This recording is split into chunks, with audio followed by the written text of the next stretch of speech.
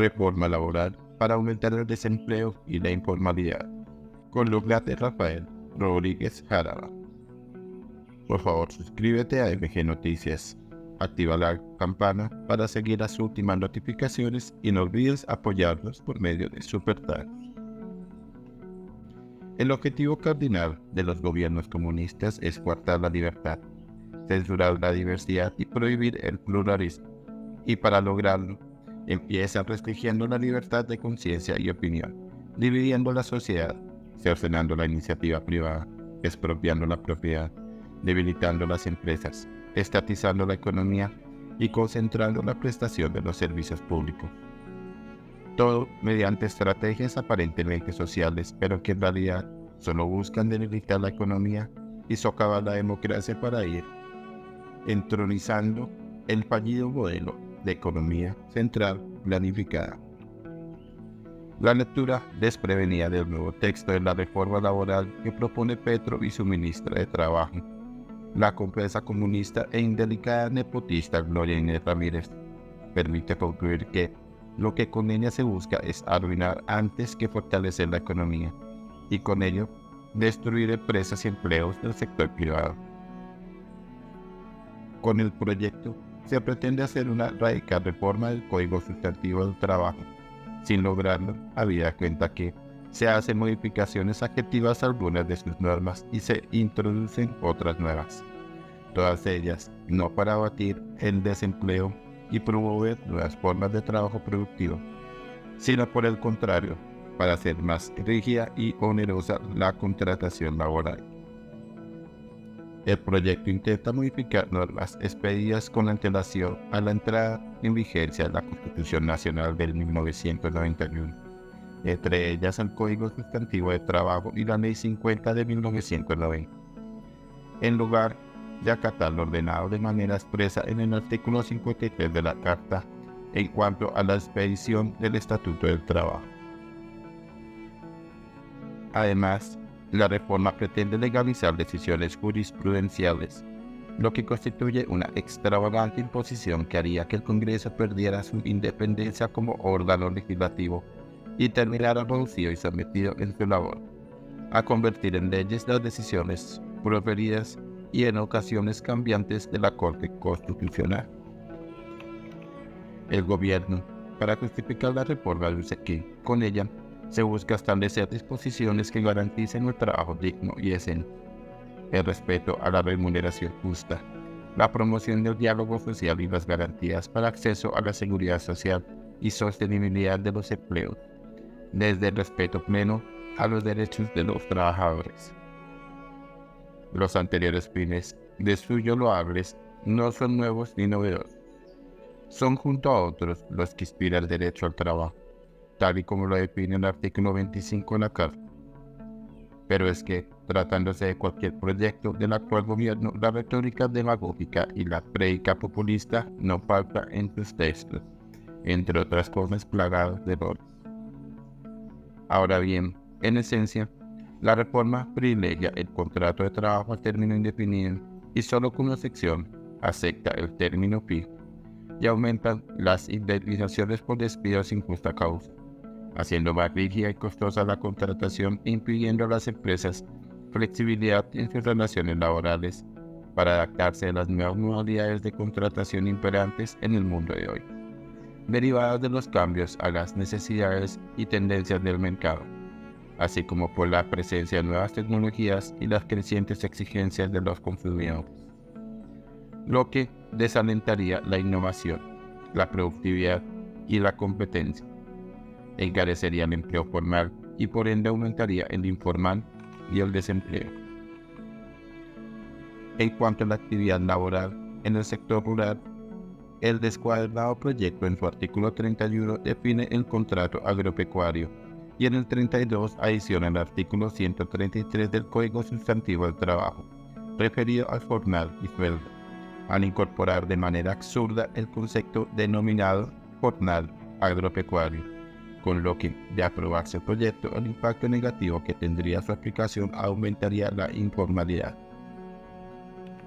Es evidente el torpe repentismo del gobierno en la elaboración de la reforma, así como su desconocimiento del sector rural,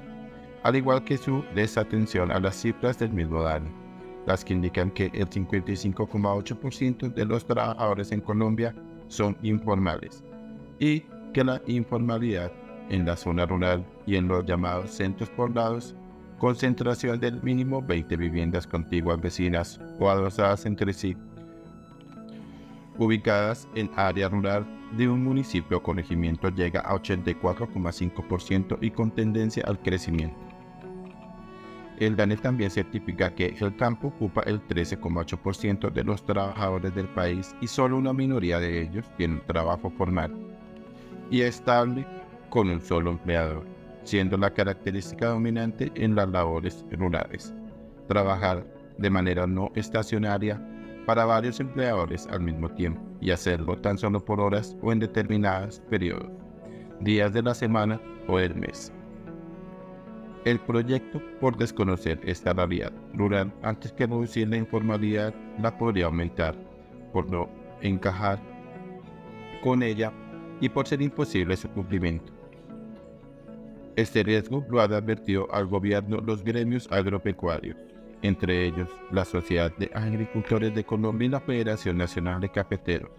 pero al gobierno, con la arrogante ignorancia que lo caracteriza, los ha desoído.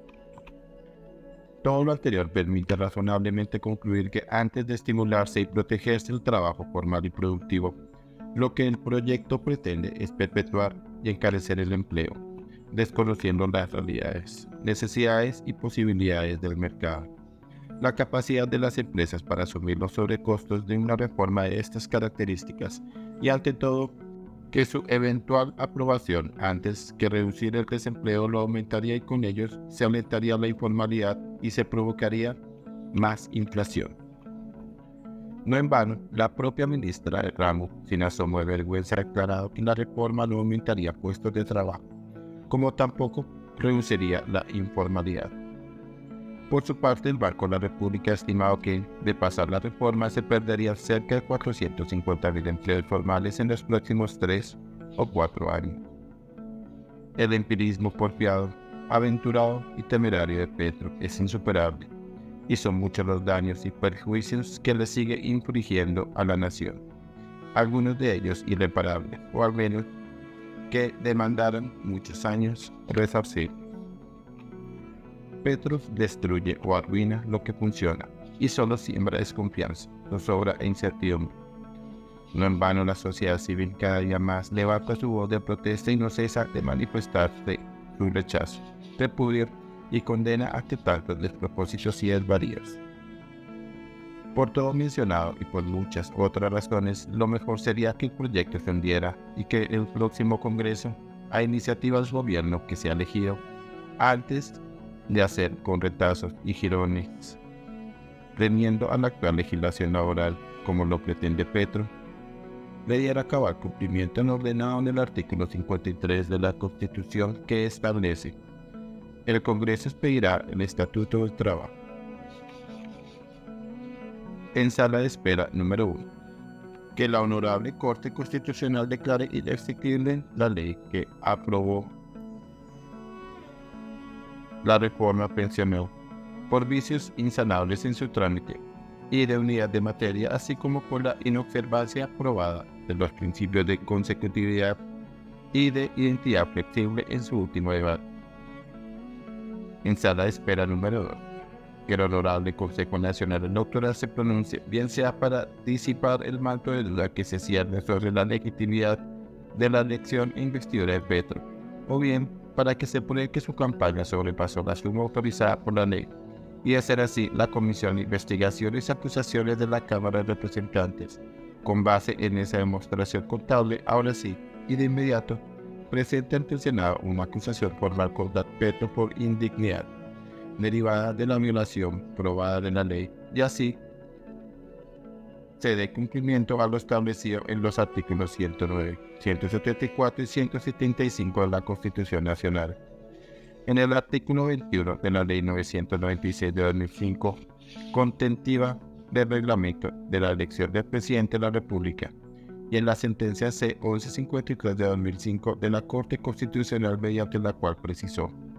La pérdida de la investidura presidencial procede por ostensible y gravísima violación del régimen de financiación de campaña. En sala de espera número 3, que la Corte Penal Internacional emita orden de arresto contra Nicolás Maduro y que el pueblo venezolano recupere su libertad y democracia. Por favor, dejar sus comentarios y opiniones acerca de la presente columna de Rafael Rodríguez Jaraba. Muchas gracias.